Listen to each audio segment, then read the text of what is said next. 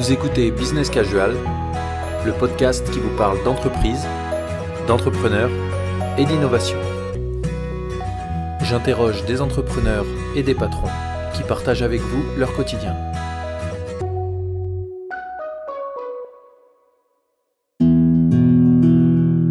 Entre le moment où on décide d'y aller, on lance tout, et puis on se retrouve le jour J euh, ou le vendredi, on a terminé son boulot de salarié, et puis le lundi, euh, on est chez soi tout seul en disant bon bah maintenant je crée une entreprise. Il n'y a pas d'hésitation mais il y a un vrai stress parce qu'en fait finalement euh, c'est comme si tout, euh, tout ce qu'on savait faire avant n'existait plus et qu'on repart de zéro.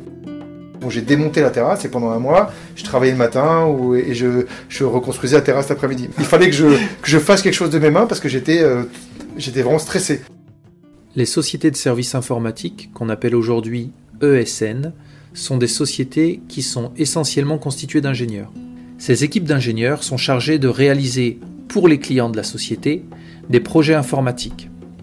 Les clients de ce type de société sont souvent de grandes entreprises comme des banques ou des assurances ou des grands noms de l'industrie. C'est un univers très rémunérateur et donc très concurrentiel et parfois assez politique. Après presque 20 ans à évoluer dans ce milieu, en gravissant les échelons hiérarchiques, pour finalement occuper un poste de management où il dirigeait plusieurs centaines de personnes, Xavier Maire décide en 2018 de tout laisser pour repartir à zéro et créer sa propre société, qui s'appelle Canoma. En un an et demi, Canoma passe de 2 à 53 équipiers et développe une organisation interne qui favorise la co-création et l'innovation. Xavier revient avec nous sur son parcours, sur les raisons qui l'ont poussé à se lancer et sur son quotidien d'entrepreneur. Alors, donc comme d'habitude, euh, comme je te disais, des petites questions à icebreaker. Ouais. Un film qui t'a marqué Il y en a un qui a marqué mon enfance, ou mon adolescence, qui est Itinéraire d'un enfant gâté, de Claude Lelouch, euh, où il y a Belmondo qui, euh, qui au départ, euh, il traverse l'Atlantique en bateau et puis, euh, et puis harcelé par, par, par sa vie d'avant et finit par euh, faire croire qu'il a disparu en mer et, et vivre sa vie complètement différemment, euh, seul. Et au bout d'un moment, il se sent tellement seul qu'il finit par revenir voir sa famille sans faire, euh, sans vraiment réapparaître. Enfin, bon, c'est, un, un joli film qui est, qui est hyper euh, touchant dans, dans sa façon d'appréhender les, les, les rapports humains. Euh, C'est vrai que pour le coup, euh, voilà, moi ça m'avait beaucoup plu, euh, beaucoup plu quand j'ai, dû le voir. Je devais avoir 13 ou 14 ans, ça m'avait euh, beaucoup marqué. Un personnage réel ou fictif Inspirant ou, ou que tu aimes? Euh, j'aime beaucoup euh, Saint-Exupéry. Euh, j'ai bon, au- au-delà de son œuvre, le personnage était assez incroyable, complètement romanesque, avec euh, avec une, un culot, une capacité à entreprendre des choses. euh, voilà, aussi bien pilote, ingénieur, dessinateur, euh, et puis surtout romancier. Donc, voilà, je trouve ça très inspirant ce côté euh, multicarte et, euh, et et de penser que tout est possible. Qu'est-ce qui t'agace chez les enfants des autres? Qu'est-ce qui m'agace chez les enfants des autres euh, quand ils sont mal élevés? Qu'est-ce que tu changerais dans tes habitudes si tu voulais être quelqu'un de meilleur? Je ferais plus de sport, parce que ça, ça fait du bien, ça permet de, de, de- d'extérioriser plus, et euh, je serais moins impatient. J'ai 47 ans, j'ai une femme euh, et trois enfants. Euh, je suis parisien d'o- d'origine, j'ai vécu à Paris jusqu'à ce que j'ai 20, euh, 28 ans. Et euh, voilà, avec ma femme, on a essayé de partir en province parce qu'on voulait une autre, une autre vie et, nous retrouver. Et donc, euh, ça s'est trouvé être Nantes vraiment totalement, totalement par hasard. On n'avait pas d'amis, on ne connaissait pas spécialement la ville. Et on s'est dit, bon, on y va pour deux ans. Et depuis, ça fait 20 ans. Donc, voilà, comme quoi, ça, ça, nous a bien plu. Si je retrace mon parcours professionnel, j'ai fait une, une école de commerce en spécialité contrôle de gestion. Et après avoir fait un stage en contrôle de gestion, je me suis dit que j'en ferais jamais mon métier. Euh, trop chiffres euh, et pas assez, pas assez de rapports humains et de créativité. Et donc j'ai commencé dans le, le marketing, dans l'édition juridique. Donc pour le coup, euh, ce qui n'a rien à voir avec ce que je fais aujourd'hui, euh, dans une société qui s'appelle Dalos, ceux qui font les, codes, les codes rouges, hein, qui, sont, qui sont assez connus, les petits, euh, les, petits codes. Et, euh, et du coup, je, je suis rentré dans cette entreprise qui était une, PME d'à peu près 200 personnes, pour mettre en place des produits multimédia. Alors on est en 95, hein, donc il y a quelques années. À l'époque, c'était comme c'était comme assez nouveau, donc on a commencé par faire des des, des, livres ou des, ou des bases de données de jurisprudence sur disquette et CD-ROM, donc ça, ça paraît un peu, un, peu, un peu hallucinant vu de maintenant, mais on a commencé à faire ça, et puis on avait créé un des premiers sites internet professionnels, donc en 96, pour, pour Dalloz, alors c'était une, une arborescence vraiment hiérarchique avec, avec des systèmes de, de clics, mais c'était sympa, on pouvait trouver des informations dedans, et, et c'était une, une, innovation qui, était plutôt riche. Et donc j'ai développé ça pendant 4 ans, et puis après, euh, c'est une entreprise qui a été rachetée par une entreprise, qui elle-même a été rachetée par un groupe, qui lui-même a été racheté par un groupe international. Donc on a eu trois rachats successifs. Et, euh, et les, au final, c'est Vivendi qui, a, qui, a, qui, était devenu propriétaire et qui lui vous, surtout voulait faire euh, cracher la partie édition. Donc qui, a, qui, nous, a demandé d'arrêter tous les investissements. Donc moi, c'était juste pour euh, qui avait déjà été créé. J'ai, je, ça me plaisait pas, donc j'ai décidé de, partir. Et euh, j'avais une certaine frustration à travailler sur des produits. Euh, c'est qu'en fait, quand on travaille des produits, en fait, on essaye de, caler le besoin du client sur son produit. Et je m'étais toujours dit, en fait, ce qui m'intéresserait, c'était plutôt dans le service, c'est-à-dire de créer des choses sur mesure pour des clients. Du coup, euh, on est en 99, le, avec euh, la bulle Internet.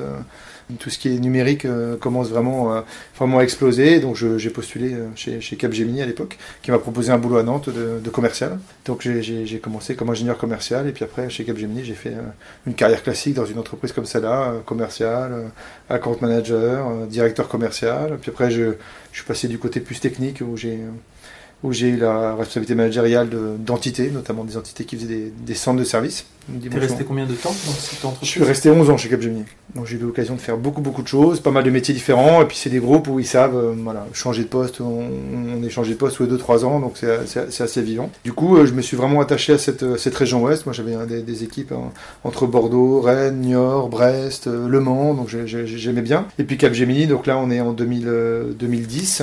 Euh, il y a une volonté de, de, centralisation d'entreprise avec toutes les, prises de, toutes les prises de décision à Paris, et l'Ouest était devenu une sorte de centre de production low cost pour Paris. Donc voilà, moi je me trouvais avec euh, un patron euh, qui considérait qu'on était un centre de production low cost, donc il nous avait des choses à faire, et puis on était juste là pour produire pas trop cher. On ne demandait pas d'avoir un avis, on ne demandait pas d'adresser des, des, clients locaux, autant de choses qui, me paraissaient dommages. Euh, donc j'ai quitté Capgemini, j'ai fait un passage éclair dans une boîte qui à l'époque s'appelait Effitic qui était une, ancienne activité de développement applicatif de, HP. Moi, ça m'a pas plu du tout, donc je suis resté un petit peu moins d'un an. Et après, j'étais chez GFI Informatique, qui est un autre grand groupe, hein, qui, à l'époque faisait peut-être 10 000, 10 000 salariés, peut-être un petit peu moins 9 000. Et j'y suis resté euh, 7 ans comme directeur de la, de la région Ouest. Euh, voilà, j'ai beaucoup euh, beaucoup aimé cette entreprise. Euh, beaucoup d'autonomie, donc j'ai trouvé ce que j'avais connu chez Cap au tout début, c'est-à-dire euh, quand on est responsable de la région, ben voilà, on est, euh, on est autonome sur qui on recrute, quels clients on va voir, quelles offres on propose, quelle communication on fait en interne, quels locaux on prend, on prend plus, et ainsi de suite. Et donc c'était très riche et vraiment un peu comme un patron de PME avec un, avec un actionnaire. Puis au fur et à mesure, bah, comme tout grand groupe, ça commence à se structurer, des process, des, des, des contrôles, du reporting.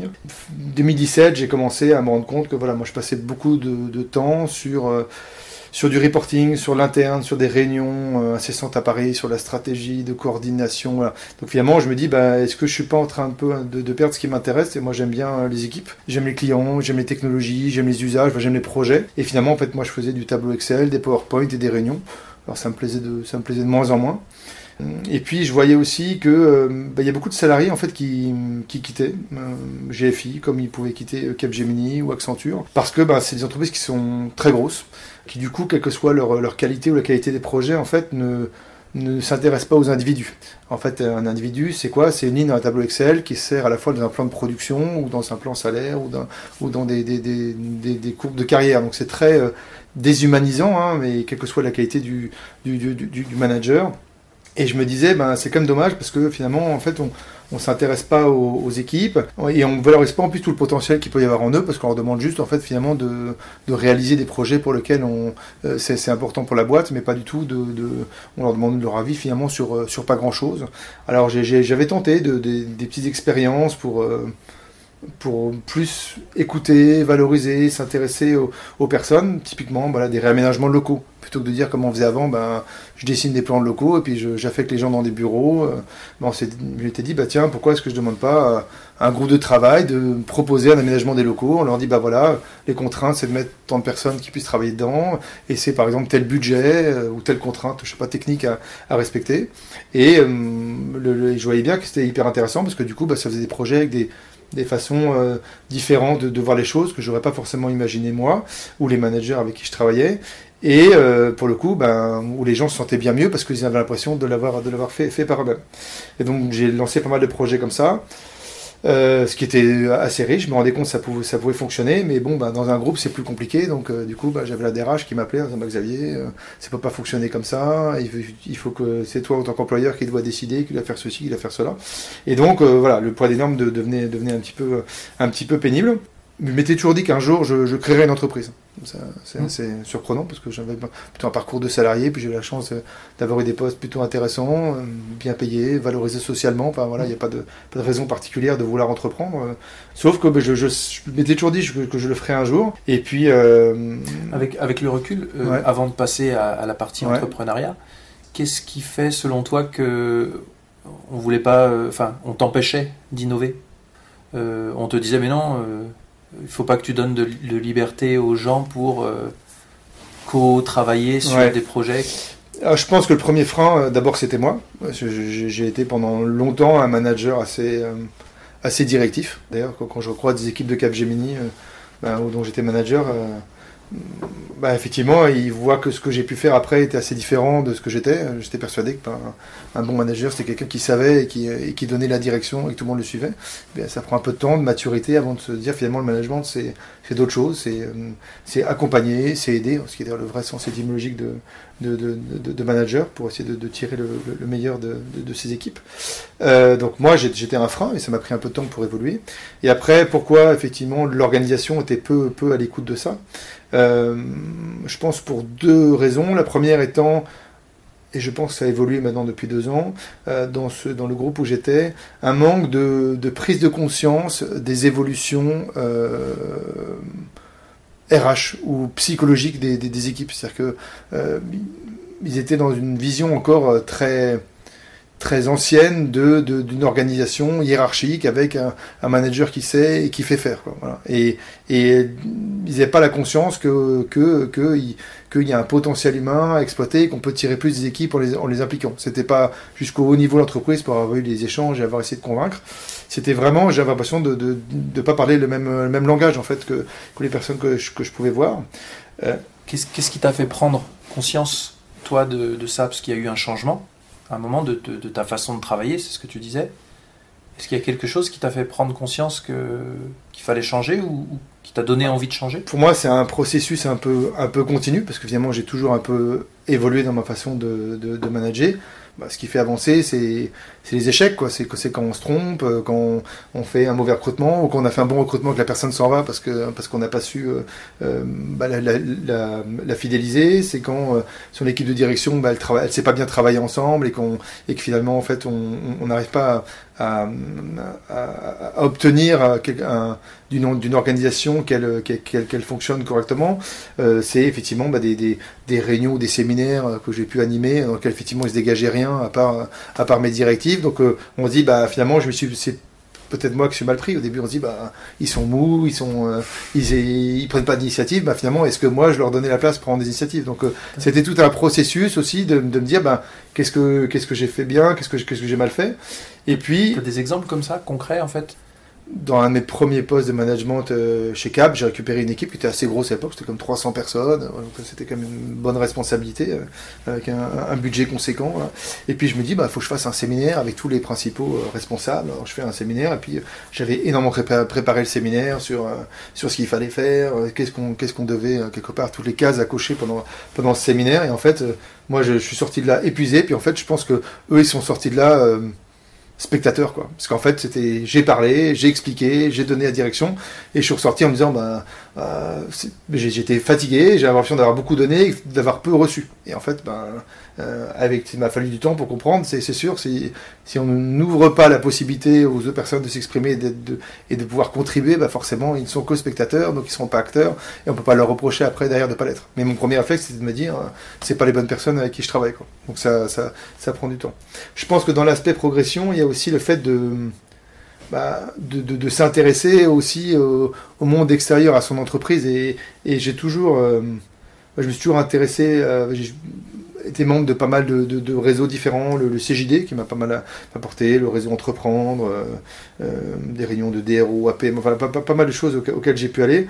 Bah, pour essayer de, puis on lit, puis on essaie de, se cultiver, et puis on voit bien que ce, mouvement de, cette évolution de management, elle n'est pas venue d'un coup, elle est venue comme sur un, certain nombre d'années, avec des expérimentations, avec des, avec des, des, des, retours d'expérience, des gens qui ont pu témoigner de, comment ça a pu euh, transformer leur, euh, leur, entreprise. Et, et voilà, je me rappelle des, premières conférences auxquelles j'avais été avec Alexandre Gérard, qui est le patron de ça s'appelait plus Chronoflex, mais ça s'appelait comme ça, comme ça à, l'époque. Ils font des, la réparation de, de, tubes ou de flexibles hydrauliques, je crois que c'est ça leur, métier. Et c'était assez passionnant parce que lui, il raconte son histoire. Donc voilà, c'est un, un, tu oui, tu peux voilà. parler un peu de Chronoflex. donc effectivement, bah, c'est une boîte où voilà, il y a un patron euh, qui dirige sa boîte, qui l'a qui l'a racheté, développé, tout ça.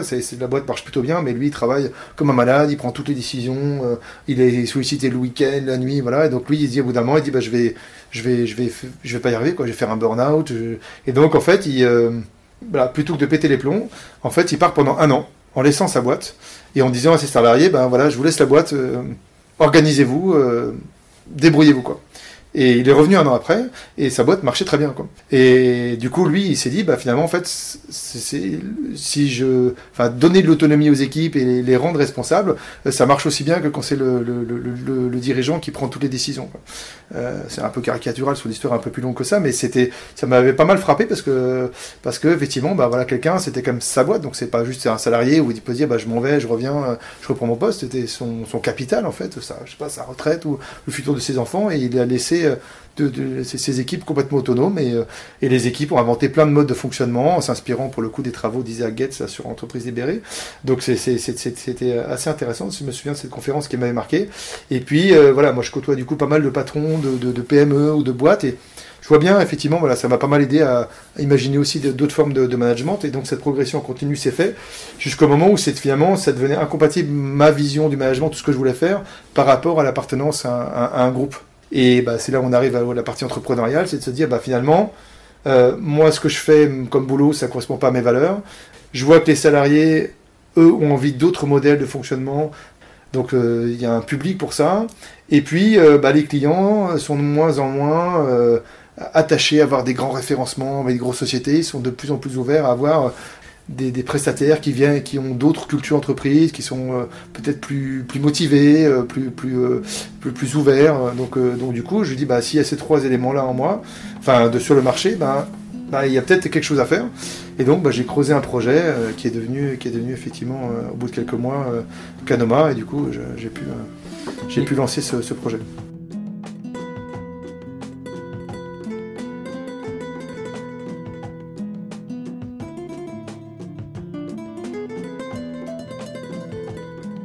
Comment ça se passe en fait le, processus de décision? C'est quelque chose que tu décides euh, avec ta femme? Est-ce que tu as des hésitations? Est-ce que enfin avec ta femme en famille en tout cas? Euh, alors c'est hyper important le, côté familial parce que bah, forcément euh, je passe une situation très confortable, salarié, comme je disais, avec euh, bah, les, 35 heures, euh, la voiture de fonction, euh, le bon salaire, les vacances, tout, va bien. Et puis voilà, forcément, il faut, il faut pouvoir faire ça. C'est un projet familial parce qu'il y a des risques, parce que parce qu'il y a aussi le fait pendant quelques années de, de, de, réduire son, son, train de vie et, et puis aussi d'être beaucoup plus stressé. Et, et ma femme, voilà, immédiatement adhéré au projet en disant bah je, serais bien plus fier de toi euh, si tu crées ton projet que le fait d'être euh, méga salarié de méga patron de GFI. Ça, elle, était beaucoup plus intéressée par tout ce qu'on pouvait euh, faire en, tant, qu'entrepreneur que par le côté salarié. Donc voilà, moi j'ai du coup c'était un projet vraiment familial. le stress où les hésitations, pas tant que ça. En fait, une fois que, une fois que ça m'a apparu comme une évidence, j'étais déterminé. Parfois, je suis un peu trop déterminé, j'ai décidé quelque chose à vouloir absolument que ça arrive. Mais voilà, donc j'ai réussi à, à, imposer mon projet, c'est-à-dire le fait de partir à, mes responsables chez GFI, ce qui a pris un petit peu de temps parce que c'était pas évident pour eux, parce que j'avais pas de reproches réellement à faire à, l'entreprise. Je pouvais pas leur dire que c'était pas bien ou que j'étais pas bien payé ou, que je me proposais autre chose. C'est moi qui voulais faire autre chose, donc c'est pas facile à accepter pour un, pour un, pour patron. Je peux comprendre. Ils ont eu l'intelligence de, me laisser partir et, je les en remercie. Et, et, du coup, euh, j'ai pas, j'ai pas d'hésitation, quoi. Je voulais y aller. La seule chose, c'est effectivement, bah, entre le moment où on décide d'y aller, on lance tout, et puis on se retrouve le jour J euh, ou le vendredi, on a terminé son boulot de salarié, et puis le lundi, euh, on est chez soi tout seul en disant bon bah maintenant je crée une entreprise alors même si le projet avait été un peu anticipé bah là là pour le coup il y a, a pas d'hésitation mais il y a un vrai stress parce qu'en fait finalement euh, c'est comme si tout tout ce qu'on savait faire avant n'existait plus et qu'on repart de zéro. Et là, c'est là, effectivement psychologiquement c'est c'est plus dur. Et puis créer une boîte, il y a un peu d'administratif, donc j'ai eu quasiment un mois entre le moment où j'ai terminé chez GFI et le moment où Canoma a été créé. Et ce mois a été euh, psychologiquement euh, très compliqué parce que j'étais, c'était pas lancé. Et là, pour le coup, j'étais stressé et, euh, et je pouvais pas agir parce que j'ai pas d'entreprise. Et en même temps, il fallait quand même que je fasse des choses et, et, préparer. Donc c'était, pas assez compliqué. Et pour, pour l'anecdote, le, le, premier soir, enfin le premier soir, ma femme m'a trouvé hyper stressé. Et le deuxième soir, quand, quand elle rentre, elle, elle, regarde, elle regarde dans le jardin et j'avais démonté la terrasse.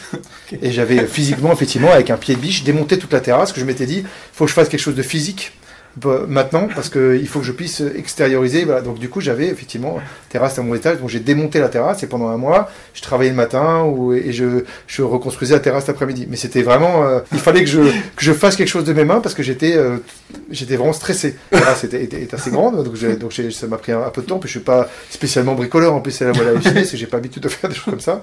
Mais voilà, je me dis ah la terrasse à mon étage, faut que je fasse quelque chose.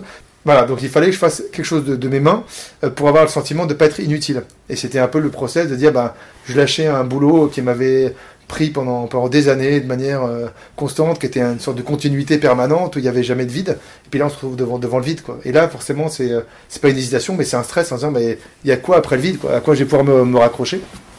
Puis après, une fois que l'entreprise est créée, après, euh, bah, ça va vite parce qu'on a, on n'est plus tout seul. J'ai la chance qu'Amandine adhère au projet et, vienne tout de suite. Qui est Amandine? Quand je suis arrivé chez, chez GFI, c'était une, une jeune chargée de recrutement en discutant avec elle, qu'on travaille sur, sur, des projets, le, voilà, une capacité, je dans, dans, son, dans, son, dans son regard, dans son, je sentais effectivement une, capacité à faire bien plus que, ce qu'elle faisait. Euh, donc au fur et à mesure, bah, je lui ai confié pendant ces sept ans de plus en plus de responsabilités euh, qui ont pu être sur euh, des, rôles transversaux de gestion des affectations et de la production. Euh, je l'avais nommée responsable de tout le recrutement pour, pour la région. Euh, elle été manager d'une, de, de, Nantes. donc elle a eu pas mal, pas mal de rôles. Et j'aimais bien, j'aimais beaucoup travailler avec elle parce que soif de travail, rigueur, envie euh, bon contact humain, euh, euh, pas, mal, pas mal de créativité. Et donc j'aimais beaucoup travailler avec elle parce que finalement on se complétait, on se complétait assez bien. Et c'est vrai que pour le coup, quand je lui ai dit que, bah, que je m'en allais de GFI pour, pour créer une boîte, immédiatement, elle m'a dit bah écoute, si tu as besoin de quelqu'un, je, je, viens avec toi. Et bah voilà, j'étais assez le fait, parce que c'est pas évident pour elle non plus. Euh, elle quittait un grand groupe pour repartir à une boîte qui n'existait pas encore, donc c'était courageux. Et euh, du coup, et ça m'a permis moi de pas être tout seul au démarrage, euh, parce que forcément, on a toujours besoin d'un alter ego, de pouvoir se rassurer, partager des idées, accueillir aussi toutes ces idées qui sont qui sont nombreuses. Elle est très forte sur le recrutement, très forte sur la communication, sur les réseaux sociaux, autant de sujets que, moi du tout, qui sont pas du tout mon, mon, savoir-faire. Est-ce que tu peux nous présenter les étape par étape, la, construction de l'entreprise Effectivement, déjà, il y a la première étape, c'est euh, de définir le projet. Là, je l'ai fait effectivement pendant que j'étais salarié, hein, on va dire à peu près. Euh, c'était quoi Six mois avant, bah, c'était bah, c'est quoi, quelle entreprise on veut construire, euh, pourquoi faire, pour adresser quel client, avec quel type de compétences, sur quel marché, commencer à faire des, business plans. Alors moi, je, je après des années, je suis un peu le pro des tableaux Excel, donc j'ai fait plein de business plans, et puis euh, ces business plans, ben, je me suis dit, euh, pour, avoir côtoyé beaucoup de, patrons de PME qui ont pu avoir des difficultés à cause de la trésorerie, moi c'était mon stress. Il faut pas de problème de trésorerie. Donc chercher un partenaire financier qui puisse nous épauler sur la partie euh, trésorerie. Parce qu'on a des métiers qui sont, euh, qui sont gourmands en, BFR, en, fonds de roulement. Et donc du coup, euh, j'ai été voir des, des financiers. Et, ce sont des banques? Non, non, non, c'est des. Ah, c'est ça qui est intéressant. J'ai découvert en fait par réseau des, des personnes qui peuvent être dans notre secteur ou pas d'ailleurs, mais qui ont de l'argent à investir dans des projets. Et euh, ce qui est intéressant, c'est que moi j'arrivais avec des projets très ficelés. J'arrivais avec 20, 20, 20, slides de PowerPoint, un business plan, tout un dossier pour essayer de convaincre. Et en fait, euh, je me suis, le, le, partenaire financier qu'au final on a, on a, on a choisi euh, et, qui nous a choisi. Pour le coup, j'ai commencé ma présentation et puis au bout de deux slides, il m'a dit non mais je vous arrête tout de suite.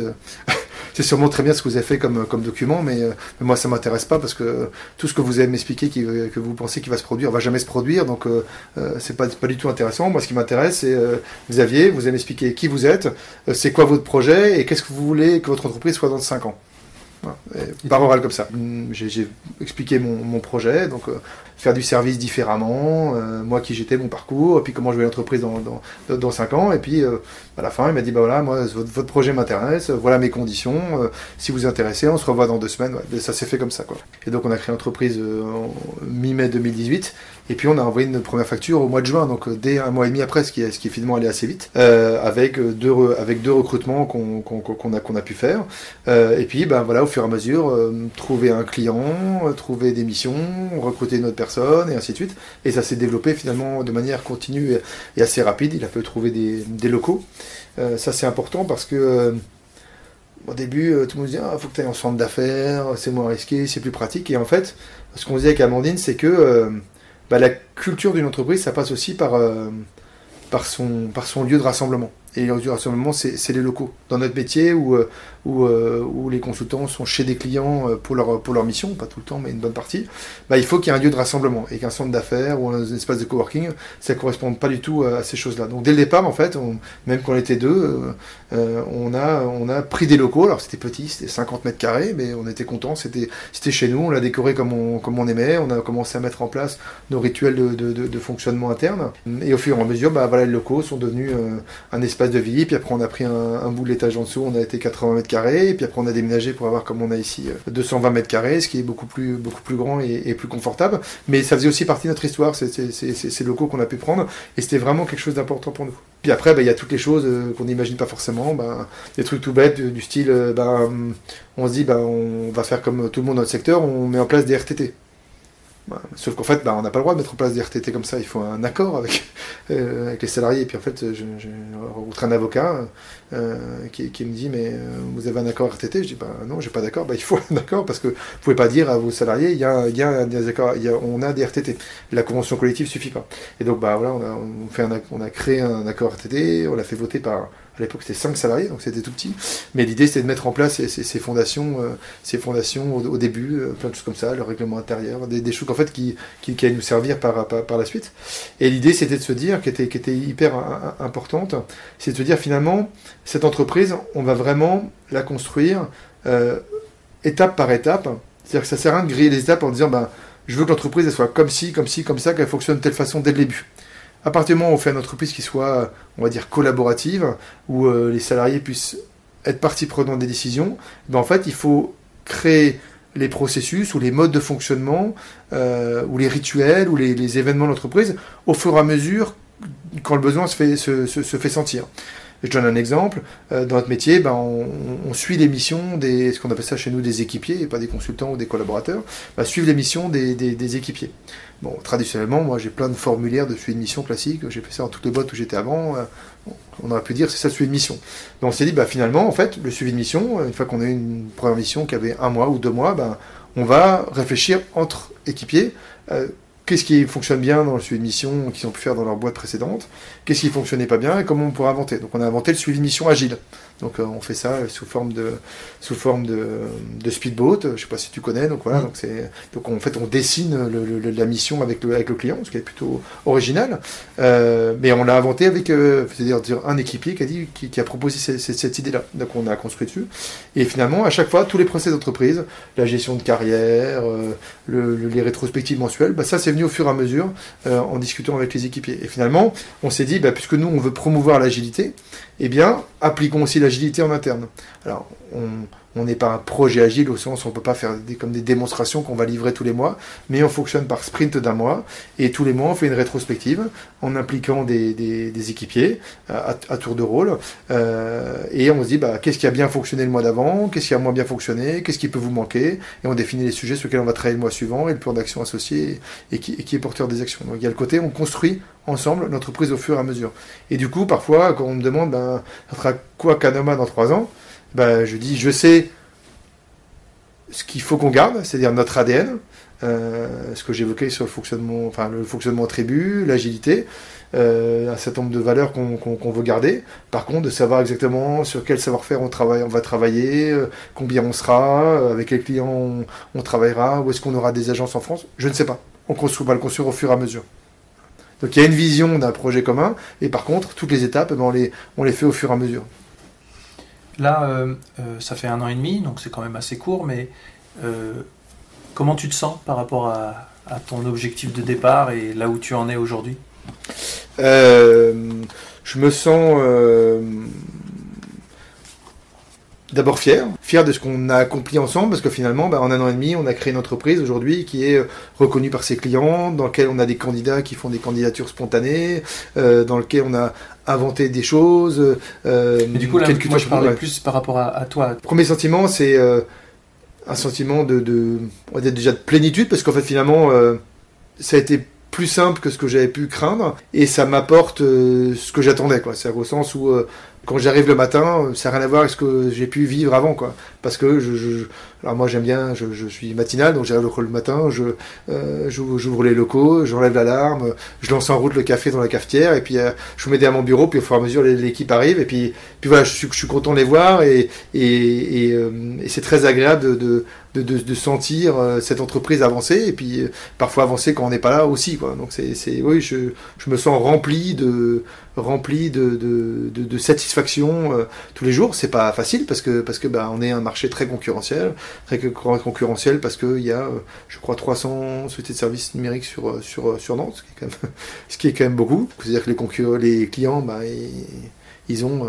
des dizaines de coups de fil par jour de, boîtes comme les nôtres qui leur promettent monts et aussi. Donc bah, il faut se différencier, ce qui n'est pas toujours simple.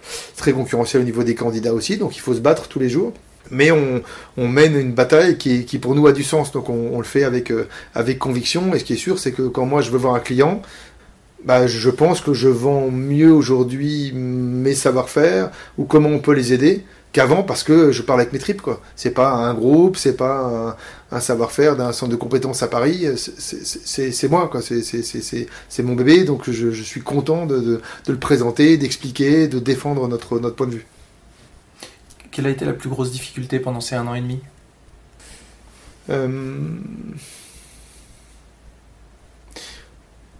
très sincèrement, on a eu la chance de ne pas avoir de, grosses difficultés. J'ai dit toujours, je pense que les, temps difficiles, ils sont devant nous.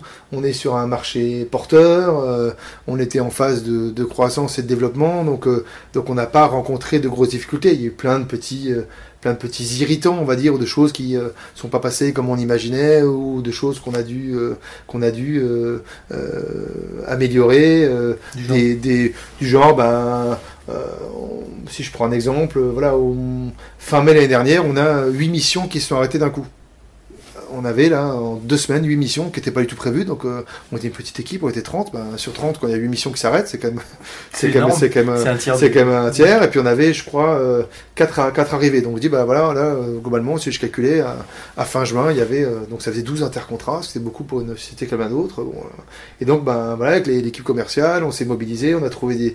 Puis on s'est, on s'est battu, puis au final, le 1er juillet, on avait zéro intercontrat. On a passé tout l'été sans aucun intercontrat c'était pas prévu. Finalement, en fait, ça nous a plutôt euh, renforcé dans l'idée de dire que ben, quand, on, se mobilise, on est vraiment capable d'accomplir, de, euh, des, choses euh, surprenantes et de, et, de, et de qualité. Donc, on a eu plein de petites choses comme ça, mais globalement, on n'a pas eu de vraies difficultés.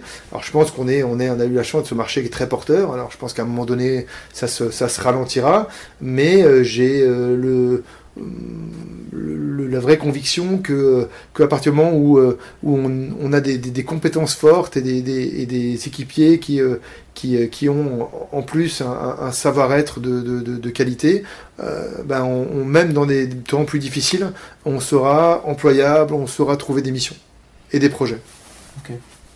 Donc, ce que tu disais, l'avenir, tu, as du mal à, te projeter pour l'instant. Si, si, genre, je, je, je, je, me projette, ce que j'ai la vision, je sais ce qu'on, ce qu'on, ce qu'on, quel, quel type d'entreprise on veut être, ou comment, comment, comment on veut évoluer.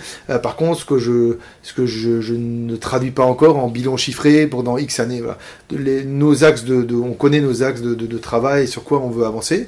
Euh, il y a le premier élément que j'évoquais tout à l'heure, c'est quoi qu'on fasse, il faut, il faut que ça corresponde à, à notre ADN. Et vraiment, euh, c'est un élément très important, notamment par rapport à des questions de taille. Euh, euh, notre mode de fonctionnement d'entreprise nécessite, enfin, implique qu'on ne soit pas des équipes trop grosses. Parce qu'en fait, un fonctionnement tribu, ben, un afterwork, on est tous là, ben, si quelqu'un arrive et il connaît pas la moitié des gens dans la salle, ben, finalement, en fait, il se sentira pas pas dans, sa tribu. Quoi. Il ne se sentira pas euh, à l'aise, en fait, et on perdra quelque chose. Donc on s'est dit, finalement, en fait, c'est quoi un peu la, la, taille limite euh, qu'on peut imaginer? On s'est dit, bah, c'est probablement autour d'une centaine. Aujourd'hui, on est 50, bah, c'est, notre idée, c'est d'aller euh, en 2-3 ans jusqu'à 100. D'ailleurs, si on s'est dit, bah, si on veut continuer à se développer, peut-être qu'on le fera en, faisant d'autres bébés Canoma ailleurs. Bah, pourquoi pas dans d'autres villes. Donc ça c'est un, des axes qu'on se donne de développement. Le développement ça passe aussi par le fait de, euh, au fur et à mesure, d'être capable d'accompagner nos clients en leur proposant plus de valeur. Parce qu'aujourd'hui, notre modèle, euh, on fait des missions chez, nos clients pour les accompagner dans, leur, dans leurs projets euh, digitaux. Et euh, ces missions sont souvent des missions plutôt individuelles. Le client a un projet, il a besoin d'un product owner pour, l'aider à, cadrer son besoin et à rédiger les user stories ou gérer le backlog.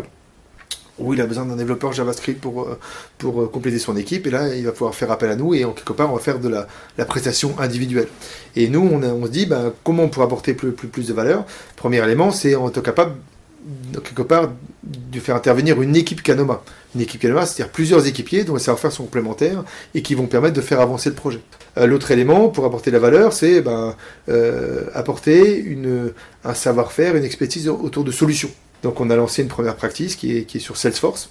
Euh, donc c'est on, on, on, on, est partenaire Salesforce, on a réussi à passer tous les tous les, les, étapes avec que c'est c'est un éditeur américain, donc c'est-à-dire qu'il y a beaucoup beaucoup de beaucoup d'étapes. On fait une prochaine étape, on pense que c'est la dernière, et puis encore six c'est derrière.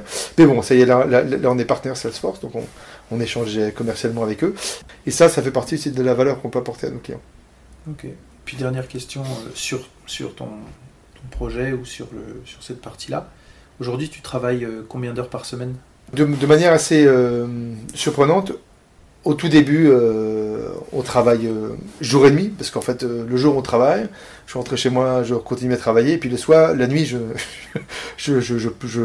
faisais du canoma dans, ma tête toute la nuit. Je me réveillais le matin, j'étais, je devais noter tout ce à quoi j'avais pensé pendant la nuit. Et ben, au fur et à mesure que ça se crée, effectivement, ben, on, est rassuré, donc on finit par avoir moins de stress, moins d'angoisse, et en fait, on, du coup, on est capable de plus relâcher la pression. Et, je considère qu'aujourd'hui, je travaille pas forcément plus que je travaillais chez, chez GFI, où, euh, bah, j'avais beaucoup de travail, de coordination, de reporting, de, déplacement euh, qui me prenait beaucoup de temps. Et en fait, aujourd'hui, bah, j'ai des bons horaires, voilà, je, dois travailler 12, 12 heures euh, par jour, ce qui, est, ce qui est bien. Je fais ça 5 jours par semaine, le week-end je travaille un petit peu, mais, mais pas trop, presque, presque moins qu'avant. Donc, je n'ai pas l'impression que ça soit plus prenant sur ma vie de famille euh, qu'avant. Et, et que, je voulais euh, peut-être dire là, c'est, euh, c'est, je pense que la vraie différence, c'est, c'est le, le, degré d'implication de chaque événement qu'on a en tant que, tant que manager ou dirigeant quand c'est sa boîte par rapport à quand on est salarié. et comme j'aime bien dire, je dis en faisant ce que je fais aujourd'hui, c'est comme la puberté, c'est retrouver le plaisir des choses simples. Et c'est exactement ça, c'est que bah, aujourd'hui, une mission gagnée. D'ailleurs, on a un petit rituel, on fait sonner une cloche quand on a gagné une mission, c'est très sympa.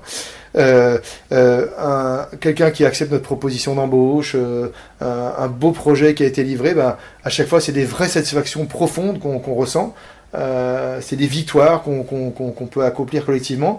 Alors qu'avant, bah, pour moi, bah, je gérais des grosses équipes, donc euh, une embauche de plus ou de moins, bah, finalement, c'est un chiffre qui est, qui est, différent dans un tableau. Euh, un projet gagné, s'il faisait pas 3 millions d'euros, bah, c'était pas intéressant. Quand le commercial faisait dire j'ai gagné, on dit bah, je suis ravi pour toi, mais voilà. Donc on, je trouve que du coup, on devient blasé dans ces grosses structures. Et là, bah, voilà, chaque petite chose est importante, et du coup, et du coup, c'est dire aussi que parfois des mauvaises nouvelles sont vachement plus impliquantes. Donc on peut passer la même journée par des stars, des ah, il est arrivé quelque chose d'horrible, et on, on se sent très impliqué. Et puis après une bonne nouvelle, on est de très bonne humeur. Donc il y, a, tout ce côté, un peu ce yo-yo du dirigeant. Il y avait des, des, des, courbes un peu humoristiques qui avaient été faites là-dessus sur euh, l'humeur du dirigeant où euh, à 10h du matin, il dit j'arrête tout, et à 14h, il dit euh, j'embauche 20 personnes. Bah, bah, finalement, c'est un peu ça. Mais, et finalement, cette, espèce d'adrénaline, au-delà de la quantité de travail, il, il, est génial parce que finalement, on, on, a l'impression de, de, vivre pleinement.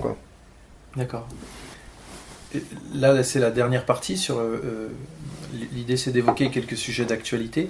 Déjà, est-ce que toi, tu as des, sujets euh, euh, en ce moment d'actualité qui t'intéressent ou sur lesquels tu veux réagir?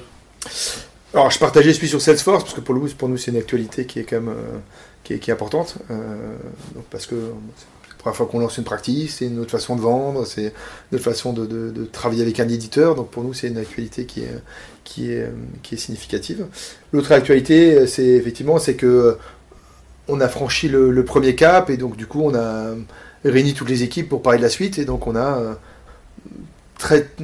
tracé le, chemin qu'on voulait, qu'on voulait accomplir ensemble en 2020 et en 2021, euh, en rassurant bien les équipes sur le fait qu'on n'allait pas perdre notre, notre âme.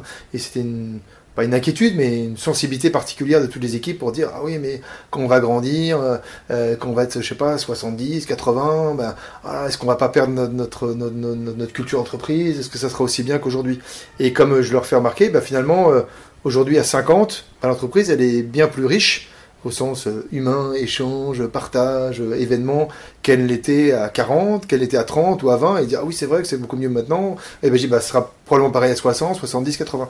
Et par contre il y a une limite que j'évoquais qui fait que si au bout d'un moment on est tellement nombreux que pour le coup on, peut perdre ça. Donc c'est vraiment euh, rassurer, embarquer les équipes dans ce projet, ça c'est une activité importante pour nous, d'avoir réembarqué tout le monde sur ce, sur ce projet de, euh, de 2020 qui est, qui, est, qui, est, qui est primordial parce que euh, nos équipiers sont les ambassadeurs d'entreprise. Ils sont les ambassadeurs tous les jours dans leur, dans leur mission et ils adorent faire ça. Euh, promouvoir notre entreprise auprès de leurs clients, nous remonter des informations commerciales, euh, promouvoir l'entreprise auprès de leurs collègues pour qu'ils soient candidats chez nous, de leurs amis, ainsi de suite. Donc c'est très important. Ok. Moi j'ai prévu quelques petits sujets, du coup. Bien sûr. Euh, j'ai repris les, les, news sur Internet la 5G, des risques sanitaires encore inconnus. Il y a, beaucoup de, On débat un petit peu sur euh, les risques et les opportunités de la 5G. Comment tu vois cette chose-là? Alors, je, suis euh, totalement incompétent sur le sujet au sens technique. Euh, moi, j'ai passé de commercial, j'ai jamais fait d'école d'ingénieur. par contre, moi, je suis naturellement un on va dire, un progressiste. C'est-à-dire j'ai confiance en l'homme et en le progrès. Alors en ce moment, c'est un peu moins à la mode parce que euh, je pense qu'il y a beaucoup de problématiques écologiques qui témoignent que l'homme est capable aussi de, mmh. parfois de, faire des choses de manière euh, inappropriée ou, inconsidérée. Mais j'ai la conviction que le développement de l'humanité passe aussi par le progrès scientifique. Est-ce que tu penses qu'il faudrait être plus prudent ou est-ce qu'il faut tenter sa chance quitte à... Non, je, je, je je pense qu'il faut, euh, qu'il faut évaluer les risques, euh, mener les études nécessaires, mais aussi euh, avoir, avoir confiance, avoir confiance. Et moi, ce qui me surprend le plus, c'est effectivement, c'est parfois les discours très, très apocalyptiques, quoi. Voilà. info un peu plus locale, il y a eu le Digital Change, un salon à, côté de Nantes. Ouais. Pour l'instant, moi, les retours que j'en ai, c'est beaucoup de, de, déçus, assez peu de visites. même les, les, des gens qui visitaient euh, trouvaient le, salon un peu cher, etc. Est-ce que tu as un point de vue là-dessus par rapport à ce format de, salon qui est peut-être. Euh, moi j'y suis allé, que je trouve un peu désuet, mais euh, c'est toi ton point de vue Est-ce que alors j'ai je l'année dernière à travers ADN West en fait j'ai j'ai parti, pas du comité d'organisation, mais Aden West est un des, partenaires du, salon sur, l'organisation, notamment des conférences. Et donc j'ai participé aux, différents travaux sur le sujet, et puis j'ai moi-même euh, animé une partie des, d'ateliers experts pour, pour ADN West sur, sur le stand ADN. C'était plutôt intéressant. Et j'avoue que l'année dernière, j'avais été assez déçu, pareil, en fait, de en fait, fait qu'il y a assez peu de public, en fait. Euh, et c'est un peu frustrant pour tous les exposants, pour tous les gens qui, qui sont mobilisés. Je pense qu'il y y, y a, deux choses. Il y a un, point sur lequel tu as raison. Je pense que le format est un peu passé, au sens j'ai des stands et les gens viennent voir sur le stand ce qu'on propose. Je pense que ça se, ça se plus comme ça. Alors j'ai pas eu la chance d'aller au, CES de Las Vegas ou, ou des grands salons comme ça qui pourraient peut-être euh, être plus innovants. Euh, ça, c'est le premier point. Et je pense que le, le public de ce salon n'est pas bien défini. Et donc, les exposants euh, liés au public ne, ne, savent pas trop ce qu'ils viennent chercher. Pour moi, Digital Change, ça de, aurait tendance à être un événement très orienté sur les TPE et les petites PME qui, qui se demandent comment mettre en place du, du digital pourquoi pas Mais par contre, du coup, les exposants sont pas du tout adaptés parce que quand il y a un stand, ben, il y a un stand, je sais pas, GFI ou, ou un stand de, de, de grosses ESN, ils vont pas adresser ces. Voilà, qui visent du grand compte, ben, forcément, ils vont être déçus parce qu'ils vont payer un stand assez cher. L'entrée du salon est chère en plus. Euh, les conférences, ben, il faut faire des conférences c'est les sponsors pour le coup qui sont beaucoup de conférenciers. J'ai cru, cru et il n'y avait pas d'invité. Il fallait en gros payer pour pouvoir euh, faire une conférence. Et du coup, forcément, bah, si c'est un consultant d'Accenture qui fait une, qui fait une, je sais pas si c'est le cas, mais qui fait une conférence, bah, pour un patron de TPE, ça va pas lui parler parce qu'ils sont, ils sont trop décalés. Quoi. Donc il y a un problème de positionnement euh, de salon. Pour autant, je pense qu'il y a quand même un, un besoin parce que il y a beaucoup d'événements à Nantes, mais euh, euh, sur cette transformation digitale plutôt orientée petite entreprise, c'est moins le cas. Donc il y a le Web Today qui est très, qui est très branché start-up, il y a la Digital Week qui est très orientée grand public, euh, il y a le DevFest qui est très orienté informaticien, mais il manque peut-être effectivement un événement sur la transformation digitale des petites entreprises. Par contre, il faut probablement revoir le format, l'animation, les participants. Je pense qu'il y a pas mal de, de, de choses à, à, à revoir là-dedans. Et j'ai noté que ouais, c'était rien de participatif. Les stands, c'était des gens qui attendaient qu'on vienne les voir mm. pour répondre à des questions, mais pas beaucoup d'animation, pas beaucoup de, d'ateliers un peu agiles, justement. Dernière chose qui te concerne peut-être un peu, j'ai lu qu'une étude soutient que le stress favorise bien la poussée des cheveux blancs. Alors j'ai dû être très stressé alors. Non, en plus c'est Sur, sûrement. moi, je suis, euh, moi je suis pas d'un, enfin dire. T'as pas que des cheveux blancs. Non, j'ai j'ai quand même pas mal, pas mal de cheveux blancs, mais en fait je pense qu'à 25 ans j'avais déjà des cheveux blancs, donc ça devait pas être le stress parce qu'étudiant c'était c'était pas le cas. Euh, oui, sur, moi, moi je, je, je distingue des choses. pas obligé de réagir. Non, non mais je, les choses importantes, c'est moi je distingue le, le, le stress de l'anxiété. Et c'est des choses pour moi qui sont différentes. Euh, je pense que le stress, et je vois ça comme quelque chose de euh, parfois de stimulant, c'est-à-dire qu'il ne faut pas tout le temps stresser, mais le stress aussi, ça pousse à se remettre en question et, à, se mettre en danger, à, aller, à, se titiller, à se redonner de l'énergie. Donc euh, moi, le stress me fait me fait pas peur.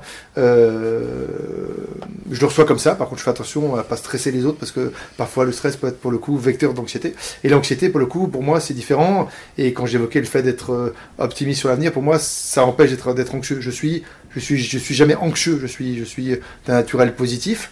Parfois stressé parce qu'il y a des petites choses qu'on a envie de résoudre et on a envie que ça avance plus vite. Mais par contre, je, je, distingue bien les deux. On peut être stressé mais, mais, mais pas anxieux.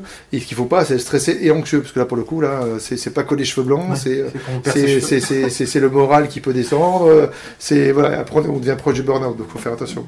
ok. Bah écoute, je te remercie d'avoir participé. Merci à toi, Yann.